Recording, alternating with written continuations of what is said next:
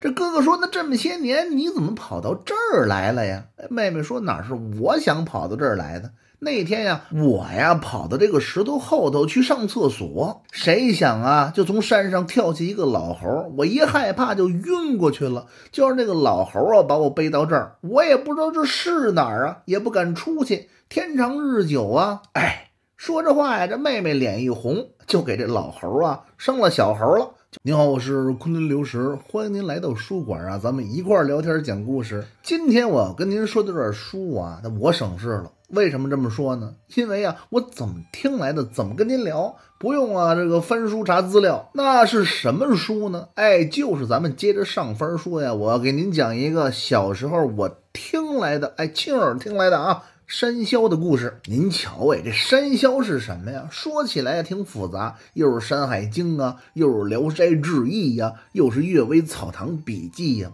其实啊，它不就是哎长得像猴一样的怪物吗？实际上，这“怪物”“怪物”这一词儿啊，哎，它并不封建迷信。我们没怎么见过、不怎么熟悉的，那就是怪物。这猴子本事大了啊，成了这个山精怪物啊！这事儿啊，在全国的故事挺多的。其实啊，也不光是全国，哎，咱们亚洲人呢，认为这个猴子长得呀，和咱们这个人种本来就挺像，所以说关于猴子的故事啊，那就非常的多。哎，咱们往远了说呢，这古印度的这个猴神呢，叫哈努曼。在这个印度传说当中啊，也是一个神通广大的猴子。往近了说呀，那就好办了。那个斗战胜佛、神通广大的齐天大圣孙悟空，那这故事还用我跟您说吗？哎，跟他相对应的还有那个呃，和他一样有本事的六耳猕猴。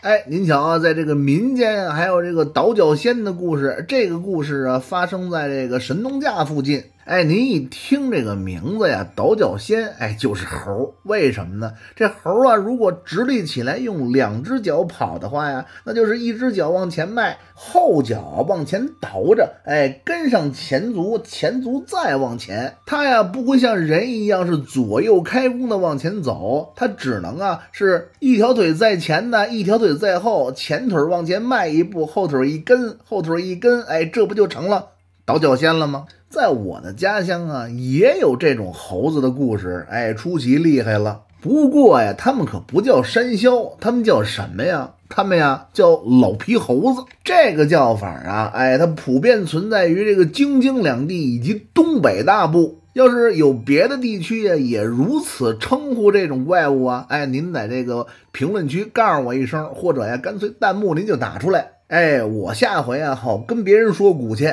这个我这故事实在是记不清啊，是听我奶奶呀，还是姥姥，或者是姑姑跟我讲的了。反正啊，离不开从小啊把我带大的这几个亲人。那呀，咱们就闲言少叙，我呀就给您讲这个老皮猴子的故事。这民间传说嘛，那肯定啊是有一样，哎，没有朝代，没有时间。那要讲起来，那就是啷啷的够，哎，很久很久以前的故事，哎，说有这么个村子，这个村子呀，离山呢不算远呐，可是它也不算近，它大概是个什么位置呢？哎，就差不多呀，它是不在山脚下呀，您在集市上也能吃到这个山上的出产，平时呢上不得山上去玩啊，哎，天好的时候，站在您这个村口的土坡上啊，也能望见山影儿。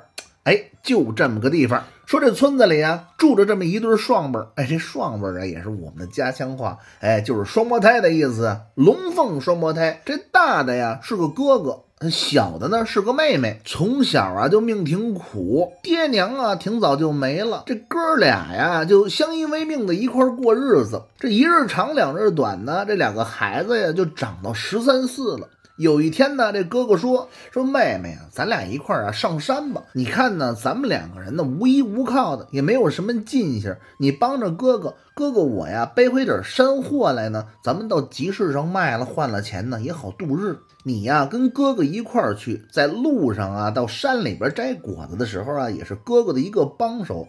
再者呢，把你一个人放家里啊，哥哥我也不放心。这妹妹一听啊，这哥哥说的是这么个意思，于是就跟着哥哥一起，这两个人呢就背了筐，带着绳子、斧子，两个人呢就奔山里去了。刚才咱不是说了吗？啊，也不是很远，一天半天的功夫啊，这哥俩呀就到了山脚下了，哎，就进了大山了。到了山里一看呢，不行，在这个山边上啊，这个山货呀已经被这山民采的差不多了。要想采到更多的山货呀，就得往深山里去。于是这哥俩呀就仗着胆子往山里去。您还别说呀，这勤劳的人呢，他自然就有收获。这哥俩到山里边啊，没过多长时间呢，就采了两大筐的山货。什么叫蘑菇啊？哪个叫榛子呀？什么栗子、核桃啊？哎，什么都有。兄妹俩高兴，哎，往山外头背。这么着呀，每两趟到集市上换了钱呢，就能过一个好年，过一个好冬。这俩人啊，往山外头走，可眼瞅着天儿啊就擦黑了。这妹妹说：“说哥，说我呀想上个厕所，我就拐角后边啊大石头，哎一挡啊，我就能上厕所了。”这哥哥想也对呀，必定啊，哎十三四的大丫头了，什么事儿啊是得避着点哥哥了。这哥哥说：“那你去吧，那哥在这儿等着你。”可是这妹妹一去呀，这哥哥左等也不见回来，说右等也不见回来。哎，这天呢可就黑起来了。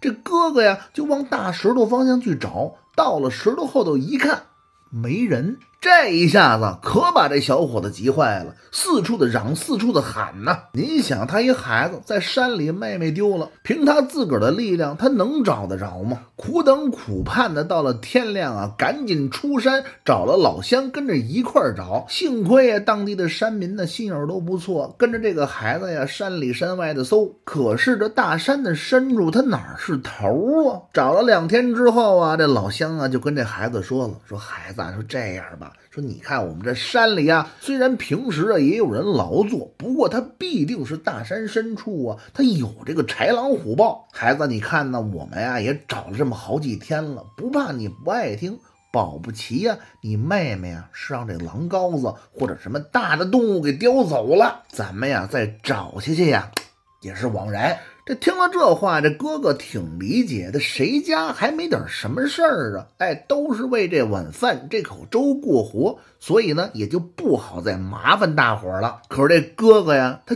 坚信自个儿的妹妹没死，为什么呀？因为在这个妹妹失踪的大石头附近呢，他并没有血迹。再者，他等了半天呢，也没听到这个妹妹的呼救声，所以啊，这哥哥认定了这妹妹肯定还活着。于是，这哥哥就下定决心呢，反正就自个儿一个人，干脆就搬到这个山脚下居住，就时不时的进山呢，寻找自己的妹妹。哎，这一转眼呢，这小伙子就变成大汉了。这几年的光阴呢，呲楞擦楞就过去了。这哥哥可是一直没放弃寻找自己的妹妹。说有这么一年春天呢，刚开山，这个大雪封山才结束。这哥哥呀，带上绳子、斧子，背上筐，带上足够的干粮啊，又进山了。他是打算呢，趁这个春天再往山的更深处找一找，多下几天的功夫。走啊走啊走，往这个深山的深处啊，他眼看着已经走去十来天了。就在这么一个大晴天的下午，这个小伙子呀，就突然听见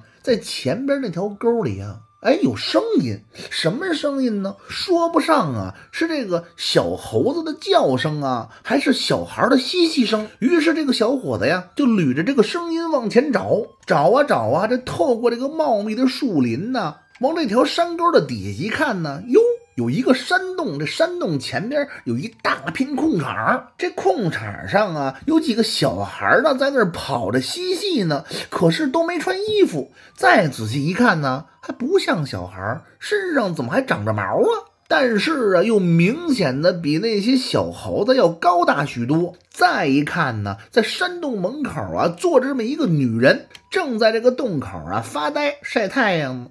虽然时过境迁呢，可是这个小伙子一看，哟，这不是我失散多年的妹妹吗？于是就三步并作两步跑到这个山洞的门口，对着这个女人说：“妹妹，是你吗？”这女人一看呢，是自己的哥哥，这眼泪呀止不住的往下流，上前一把抱住了自己的哥哥呀，是痛哭流涕，说：“哥哥，哥哥呀，你可算来了呀！”这哥哥说：“那这么些年你怎么跑到这儿来了呀？”妹妹说：“哪是我想跑到这儿来的。”那天呀，我呀跑到这个石头后头去上厕所，谁想啊，就从山上跳下一个老猴，我一害怕就晕过去了。就是那个老猴啊，把我背到这儿，我也不知道这是哪儿啊，也不敢出去。天长日久啊，哎，说这话呀，这妹妹脸一红，就给这老猴啊生了小猴了，就是外边那帮猴崽子。这哥哥说，那这个老猴对你怎么样啊？这妹妹说：“这老猴啊，对我还可以，左巴见就是呗。这没了衣裳啊，他就去这个山外给我偷。”没了吃的呢，他就去山里给我采果子。他呀还能打一些小动物，做熟了以后啊，我们娘儿几个呀和这个老猴就一块吃。这哥哥说：“这猴有这么聪明吗？”这姐姐说：“呀，这日久天长，这老猴他成了精了，他会说人话，听得懂人言，并且呀，十个八个的壮汉呢，你也别想打得过他。”这哥哥说：“那要是这样的话，咱们要想离开这儿，还得想点办法啊。”这妹妹说：“哎。”您先家来吧，我呀给您做点吃的。哎，咱们是边吃啊边想，没准啊咱们就能想出好主意来。于是这哥哥呀就随着妹妹进了山洞。进到山洞一看，嚯！这里边啊，石桌子、石板凳是样样都有，石锅、石碗、石灶是样样齐全。这炕上呢，也是有被窝、有褥子，和咱们普通家庭生活呀，哎，没多大区别。只不过呢，一应器物都是石头的。哎，过很多年之后，我才知道，哎，赶上这个花果山水帘洞里也这样。嘿嘿，那这哥哥说这老猴哪儿去了？这妹妹说呀，说这老猴啊出去打猎了，才出去，可能啊得去个一两天。这哥哥说，那咱们趁这功夫跑不行吗？妹妹说不行，就凭咱们两个呀，哎，多跑出这么两三天呢，让他一追就追上了。他是高兴了地下跑，哎，着急了树上窜，咱们哪跑得过他呀？这会儿啊，这外边的小猴可就进来了，跟这个女人说呀，说这个妈，这是谁呀？这妈妈说呀，哎，这是你们的舅舅。这小猴啊，还算挺懂礼貌，连鞠躬带作揖，这嘴里直喊呢，舅舅舅舅。这小伙子一看呢，这必定是异类，他再是自个儿的外甥啊，哎，他也不是人，所以说呀，就勉强的应付了两句，哎，没再搭跟他们。就这时候啊，就听着洞外头有动静，哟。老猴可就回来了，这小伙子呀也是机灵，这一下子躲到了这个柴门的后边。赶上这个山洞啊，还编的有柴门。透过这个柴门的缝隙，这小伙子一看，嚯，这老猴啊，这个头出了号了，站直了，这个儿啊，绝对比一个好汉子还要高。您别看他是猴，可是身上啊，倒还穿着衣裳，这腰上啊别着两只山鸡，手里还攥着两只野兔。这老猴一进门啊，就皱眉头子了，冲这个女人说：“ 不对呀。”咱们家有生人味儿，这女人跟老猴说：“哎，你净疑神疑鬼的，哪有生人味儿啊？坐下吃你的饭。”这老猴啊，坐下吃饭呢，吃着吃着呀，把筷子可就放下了，说：“不对呀，还是有生人味儿。”于是啊他就问小猴说：“这个爸爸不在家的时候，有没有生人来过呀？”这小猴啊，他跟小孩一样，不会说瞎话，于是就指着这个柴门说：“舅舅，门后头，舅舅。”门后头，这老猴一听就明白了，一个箭步噌就窜到了这个柴门边上，这个大爪子呀跟钢钩一样，一把就把柴门拽下来了。这小伙子呀蹲在柴门后边，这会儿也想了，干脆以救以救吧，顺手啊从这个腰上就把斧子蹬下来了。眼看着这一人一怪呀，就是一场恶战。就在这个时候啊，这妹妹过来呀，砰一把就抱住了老猴。要知后事如何呀，咱们明天。接着聊，不是我给您拴扣子，这故事我看了，还有挺长一段，咱们聊不完。有个别这个平台啊，只能播放展示十五分钟以下的视频，所以说呀，您抱歉，咱们呀，明天一准开书，得嘞，明儿见。